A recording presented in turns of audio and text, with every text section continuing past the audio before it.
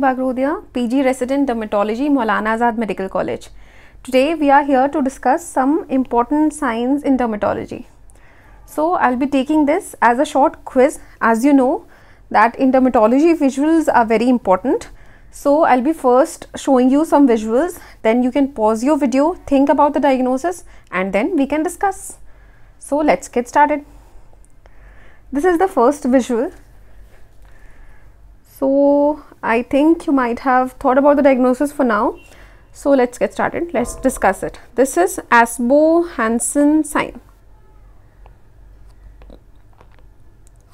So I'll talk briefly. I'll tell you about how is it elicited also. So there is a blister. First we mark the end of the blister and then uh, pressure is put on the top of the blister. So we see the extension of the blister to the normal skin. So, based on if the extension is round or angular, we have different diagnosis based on that. So, if the extension is round, the diagnosis is bullous pemphigoid or dermatitis herpetiformis or epidermolysis bullosa dystrophica or epidermolysis bullosa acquisita. Then if uh, the extension is angular, we have a diagnosis of pemphigus vulgaris. Next here only I will tell you about one more thing which is bulla spread sign also known as Lutz sign which is same as almost same as the Asboe-Hansen sign the difference only being that instead of putting pressure from the top of the blister a pressure is put from the side of the blister okay and the causes for that are same as that of Asboe-Hansen sign. So let's uh, so we'll uh, before going to the next slide we'll first uh, revise once again. So in case of round extension the diagnosis is bullous pemphigoid, dermatitis herpetiformis, epidermolysis bullosa dystrophica or epidermolysis bullosa acquisita. If the extension is angular the diagnosis is pemphigus vulgaris. Next So, let us discuss. As you can see, this is Nikolsky sign. Here, what we do, you can see uh, a flaccid uh, blister here actually. A pressure is put on the no lateral side of the blister on the normal skin and what we see is a shearing off of the normal skin. It is seen in case of pemphigus. The next is staphylococcal scalded skin syndrome. The next is Hailey-Hailey disease. Okay. Here only I will tell you one more thing about Shudo-Nikolsky sign.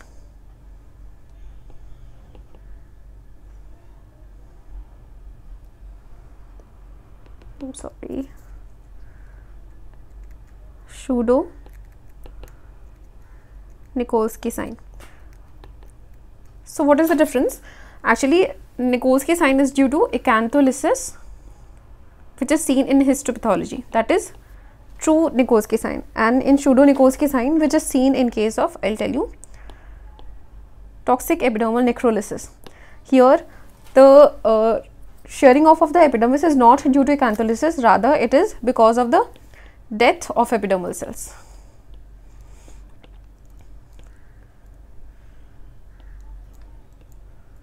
So, a quick revision Nikolsky seen in pemphigus, staphylococcal scalded skin syndrome and Hailey-Hailey disease and Shudo-Nikolsky seen in toxic epidermal necrolysis. Next. So, I am sorry, this is apple jelly nodule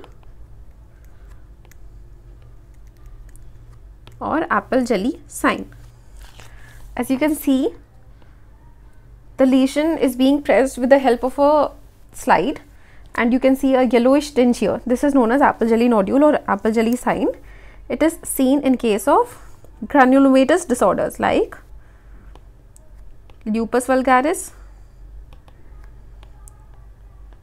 sarcoidosis and leishmaniasis. So, Apple jelly nodulus seen in lupus vulgaris, sarcoidosis and leishmaniasis. Let's go, let's, let's go to the next. So, here you can see this is a plaque, okay, a silvery white plaque. The sign you can see in this is Auspitz sign, okay. This so what I'll tell you in short what it is. Uh, first we scrape the lesion using a slide. Uh, the as we scrape the lesion we'll see the scales coming off which is known as grattage okay and then when we see the bleeding this is the bleeding point you can see that is known as Auspitz sign. I'll tell you the causes. So Auspitz sign is seen in case of most important psoriasis, other reasons being Darier disease and actinic keratosis.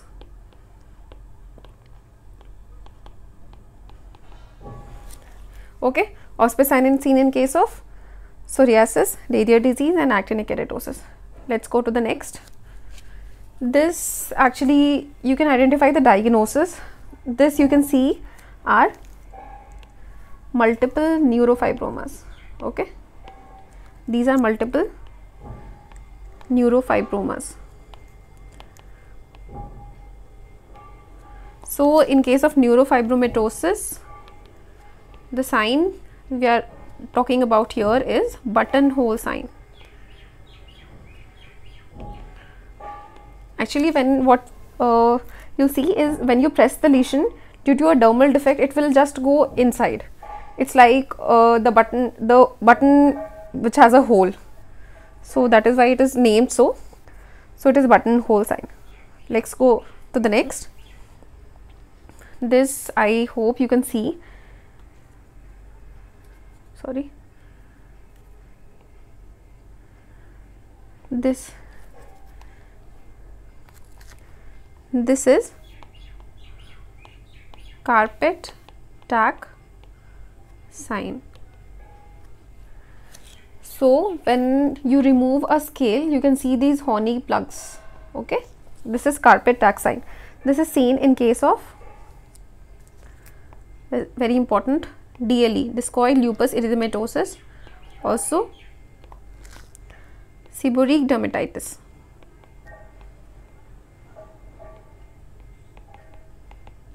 Okay, let's go to the next.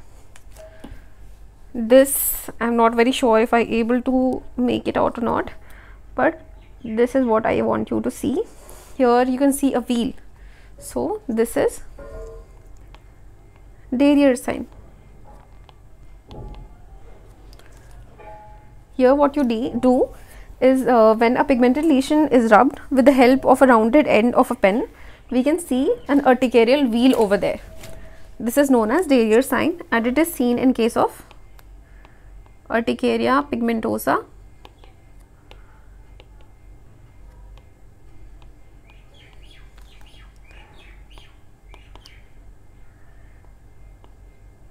histiocytosis, leukemia and xanthogranuloma. I'm sorry.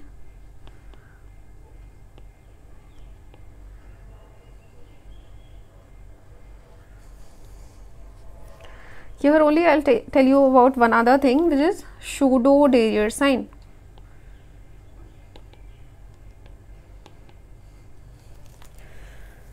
Actually here you'll not you'll not be seeing an urticarial lesion. Rather due to the transient uh, there is a transient firmness of lesion you will be seeing due to piloerection and it is seen in case of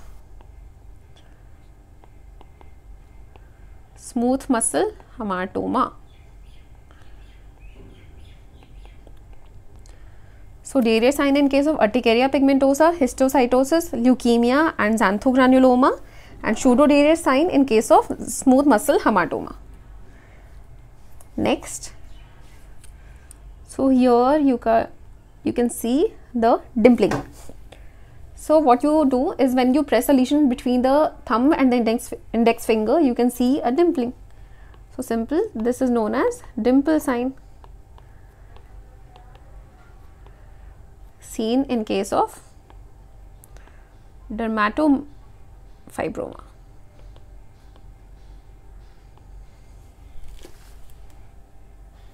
Okay. Next, this I'm very sure you must have read in surgery also, or you you will read read it in future. So this you can see is multiple seborrheic keratosis. Okay. The sign is very important. It is known as Leser-Trélat sign. multiple SKs and you must think of an underlying malignancy. Most commonly associated malignancy with it is gastric adenocarcinoma.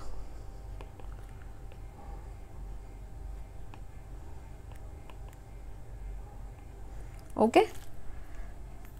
So this is the last one.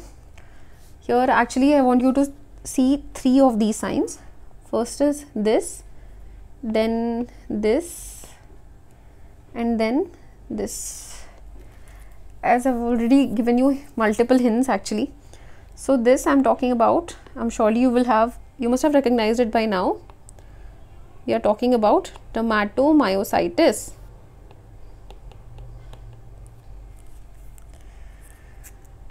so first I will tell you about Gottron's sign. What you see here. Okay? What you can see is pink to violaceous erythema which are present on both the metacarpal joint as well as interphalangeal joint. Okay? Next you can see is shawl sign which is an erythema which is present in the distribution of a shawl which is upper back and shoulder. Okay? Next you can see the heliotrope sign.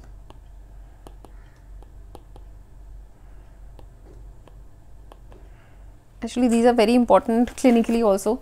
You see patients of dermatomyositis coming into you like this only.